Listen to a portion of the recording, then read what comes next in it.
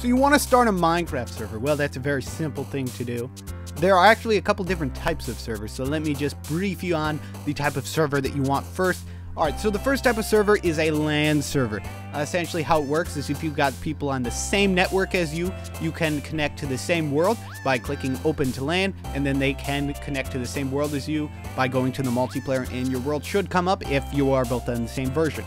Uh, if you want to connect uh, to a server um, with all your friends on it, then I would recommend either just getting a Minecraft Realm, but if you do not feel like paying for that, um, or just want more flexibility with it, I would recommend making a server like we are doing in this tutorial right here. However, that uses your private IP, and I know a lot of people do not like their IP being posted publicly because using your IP, pretty much anyone can find you. So don't post your IP on the internet. Uh, if you want a server which you can post publicly and post on certain sites and everything like that, uh, I would recommend going through a server hosting program. The server hosting service I would recommend using is called Apex Minecraft Server Hosting. They, I recommend using them because they have some of the best support inside of the server hosting industry and they make it super easy to customize your server by adding mod packs whenever you want. Anyways, screw that stuff, right into the tutorial we go. If you look inside of the description of this video, you will see a link that will bring you to this page right here. What you're going to want to do in this page is click download Minecraft server 1.17.jar. Um, this uh, tutorial will work for future versions as well, but the current version I'm on is in this version right here. Let's see, once that gets downloaded, it'll ask if you want to keep it or discard it. Uh, I would click keep that if you do want a Minecraft server, and then you'll have this file right here. Go to wherever you want on your computer, and right click and click create folder. Name that whatever you want could be just server or whatever you want to name it. Open up that folder and drag your new uh, file that you just created in there. Once it's in there, go to the, the bar up here and type CMD and then hit enter on your keyboard.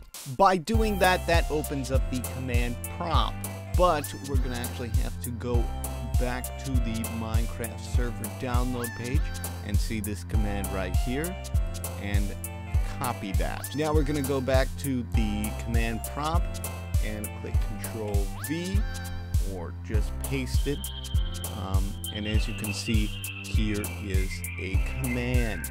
Now, there was something wrong with this command. The only problem is, is that it has the wrong file right, as you can see right here, it says server.jar. It's going to try and open Minecraft server 1.17.1.jar. This is where a lot of people mess up. So what you're going to want to do is back all this up and just name it whatever the name of the file is. Server.jar, no GUI. As you can see, I hit enter. It's going to start creating some files. Now, if you're getting an error message that looks something like this, that is because of the new Java updates. Um, essentially, what you're going to want to do is go to the link in the description. You'll find this Java download right here. Click Windows, uh, go to the 64-bit uh, uh, install, and click this installer. Essentially, what it's going to do is it's going to update your Java. Um, but if you're not getting that error message, it's not important. Uh, we're just going to go to the next step. As you can see, it will give you an error message right here. It'll say, failed to load um, this file right here. Essentially what you have to do is open the file, uh, take this information right here, delete the false, and set it as true. Um, close this, and don't forget to click save, then click server.jar.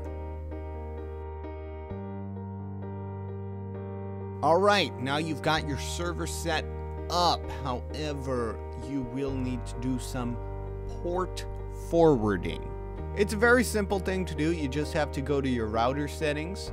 Um, there are simple steps to do that. It's different for each router, so I really can't show how to do it in this tutorial, but I would look uh, up a tutorial that says how to port forward for a Minecraft server, or some routers actually already have it set up.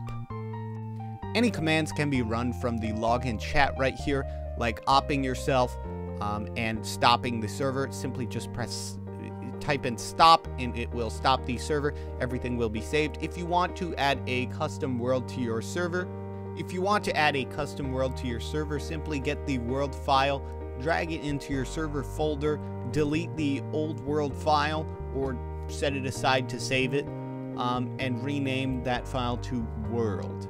If you want to change anything regarding the, the server setting, click on the server properties uh, tab right here. It will open up a text document right here.